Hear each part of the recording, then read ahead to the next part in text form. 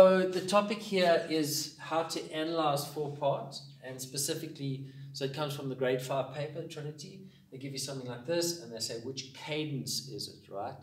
So it has to do with analyzing this and analyzing four part, and how do you do that? But it also has to know with how to do the cadences. Okay, so over here you've got four main categories of cadences. Okay, perfect five to one Bom, bom. That's that final cadence. At the end of the story, they got married and they're happy.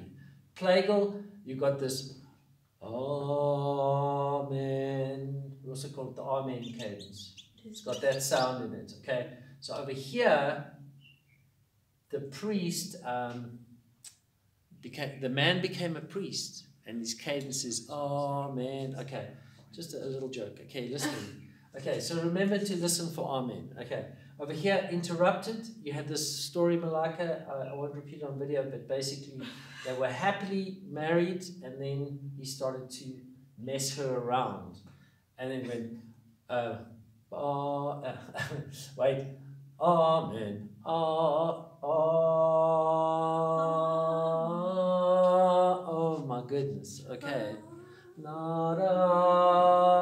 But we're not resolving back to one, so it's got that interrupted sound. Sorry, my singing's not so great today. And then imperfect is the opposite of perfect. So uh, perfect, bam, bam, like that, right? Now you're going bam, bam, bam, bam, bam, and that's what's going to happen next. You got that? Mm. Okay, but look here, we discovered that these chords can also precede this chord. So you can go one, two, or four. Remember, we don't use three. Mm. Okay, so three's out. So as long as as long as you're ending up on the five chord, it's an imperfect. Okay, so the first thing you've got to do is you've got to memorize that. Do you think you guys know them? Yeah. Like it? You know them. Okay. You've got to know the names, you've got to know the progressions. Okay.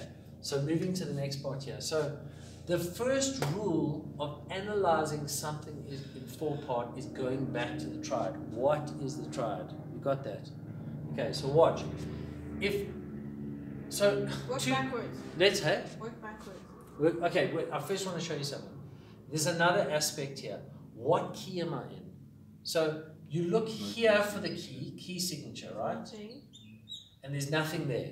So you've always got two options, major and minor. So it could be C major, A minor. A minor, right? So you go to your key line drawing that I, sh I showed you, and then what you'll do is you'll say, oh, there's nothing there, it could be C major or A minor. If it's A minor and a minor key, there's a thing that happens that makes a difference. What is that? Raised seven. The raised seven. There's nothing. Okay, so a little flag must go off in your head with minor. Oh, wait a bit, there's a raised seventh. Mm. Okay, it also has implications for the dominant chord. Do you remember that? The middle note of the dominant chord is raised because it's the leading note. Okay, so watch. If it's A minor, Daniel, if it's A minor, what are you looking for here? Right. Yeah. What would it be? A, so you go like this A, B, C, D, E, F, G. G, yeah. Yeah. So the G would be raised, right? So you look for a G here and you say, there's the G, but it's got nothing on it. So we are definitely in C major. Okay, does that make sense? Definitely in C. Okay, so, so these are just the different components this question. You've got to say to yourself, what are the cadences? You've got to say to yourself, I need to get it into triadic position and I need, to, I need to know what the key is, right?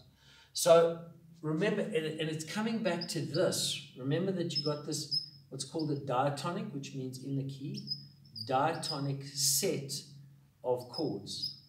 Okay? And these are your initial triads. These are the triads that make up your song or make up your composition. And remember, we literally only use five of them. Okay? Chord one, chord two, chord four, chord five, chord six. And remember, these are primary triads. Okay? And these yeah. are secondary triads. You remember that? Yes. And remember, primary triads are major, even though it's a major key, Within the key, you have a major triad, major mm-hmm. triad, major, and these are minor. Yeah. Right? And then the next step here is that Trinity wants, in grade 5, wants you to know that this is a C guitar chord or keyboard chord, and this is a D minor. This is an F, this is a G, this is an A minor. That makes sense? Okay, yeah. so watch. So watch. Great. Right, when you analyze analyzing, you're going to take, because, guys, I read in this clef and in this clef. I play bass guitar and I read clef, and I, I play sax and I read clef.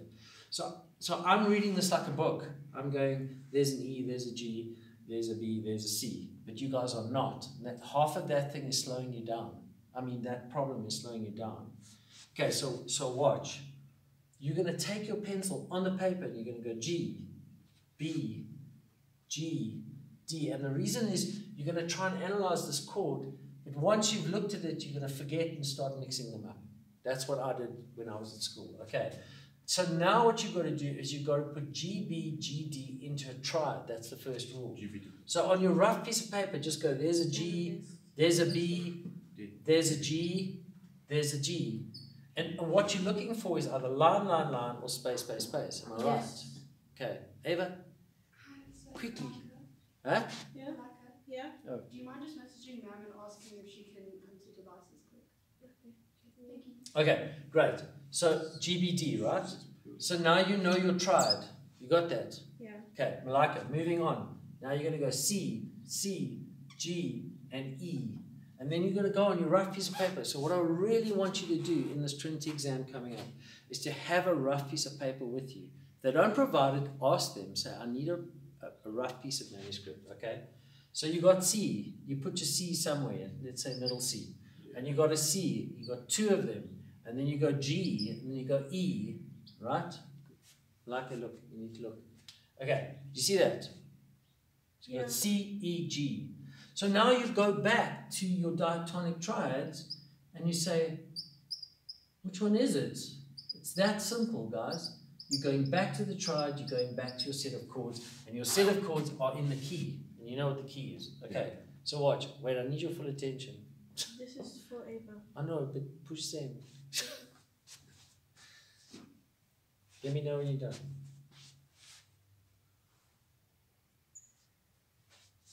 Because this is our question we're struggling with at the moment.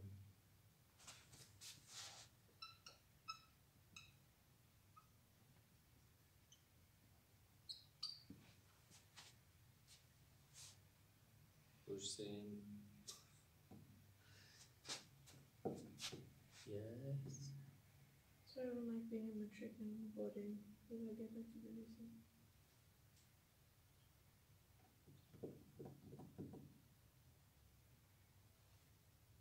Come on, my video's rolling in. And there's a fly. What is this message about? Okay, cool. Okay, cool. Okay, okay, so watch. Done that, done that, done that. So line, line, line, line, line, line. So that is your triad. So if you look here, which triad is this?